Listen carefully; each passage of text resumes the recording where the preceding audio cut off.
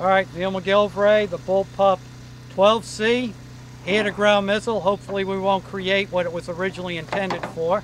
supposed to go on uh, an M1500-ish motor and recover with tether recovery, put some sort of a parachute-like object out at apogee, and then around a thousand feet or so, we might see another one. If not, it's no stranger to being broken.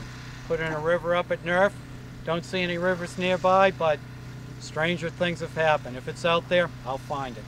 Well, Weber's got a river over there. It's called the Yellow River. Yeah, the Yellow River.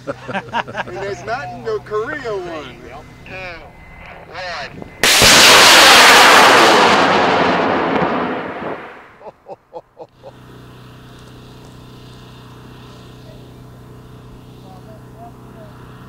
Uh, it's all twisted up. Something's not right.